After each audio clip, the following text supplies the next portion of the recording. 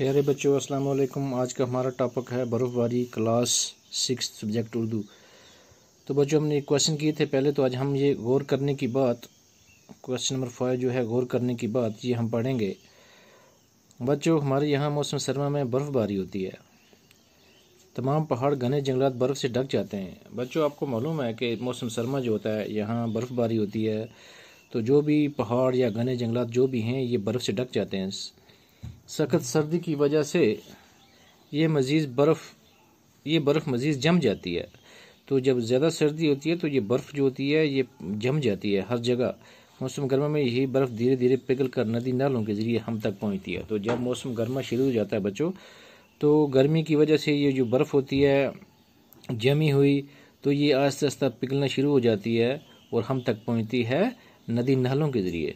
मौसम सरमा में जब कम बर्फ़ पड़ती है तो पानी की मकदार भी कम हो जाती है। यानी जिस साल बर्फ़ ज़्यादा पड़ेगी तो पानी अच्छा होता है। तो बच्चों को मालूम है, जब बर्फ़ मौसम सरमा में अगर कम पड़ती है तो पानी की मकदार जो है, वो भी कम हो जाती है। और अक्सर बार इस वजह से शिदत का सूखा पड़ता है। सूखा पड़ने से फ़सलों को शदीद नुकसान पहुँचता है। यानी सर्दियों में बर्फ़बारी या बारिशों की वजह से नदी नालों में पानी होता है तो जिस साल सर्दियों में बारिश या बर्फ़बारी नहीं पड़ती तो पानी कम होता है नदी नालों में तो दरियाओं में तो इससे जो फ़सल है, इसको नुकसान पहुँचता है। फ़सलों को नुकसान पहुँचता है तो खुराक मिलना मुश्किल हो जाता है।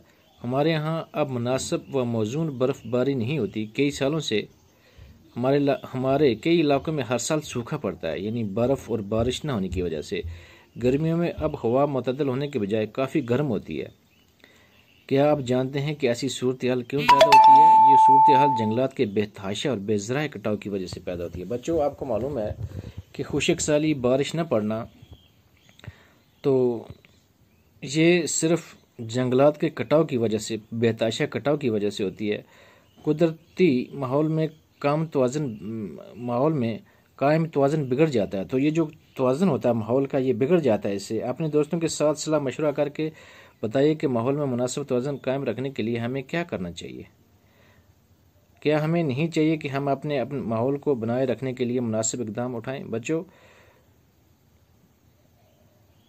माहौल का मुनासिब जो है, जो तोज़न कायम रखने के लिए हमें क्या करना चाहिए? बच्चों, हमें ज़्यादा से ज़्यादा पेड़ लगाना, पेड़ लगाने चाहिए। इससे हमें फ़ायदा है। जंगलों का बेताशा कटाव नहीं होना चाहिए। अपने माहौल को साफ़ रखना चाहिए। तो अगर जंगलात होंगे पेड़ पौधे होंगे तो हमारा जो माहौल का ये ये तोज़न जो है, ये बरकरार रहेगा। तो इसे सूखा नहीं पड़ेगा, बारिशें होंगी।